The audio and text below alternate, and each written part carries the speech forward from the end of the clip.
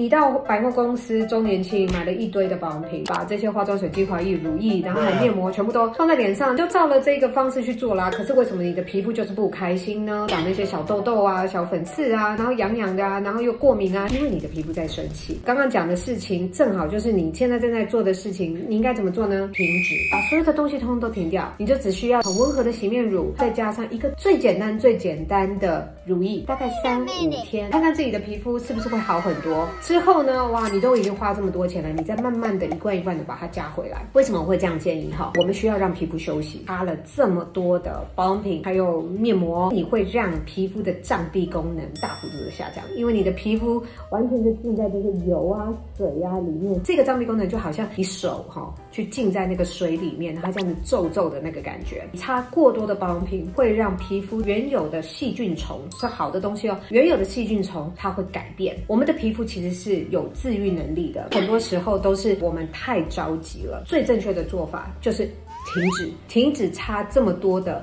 瓶瓶罐罐，让皮肤达到自我修复。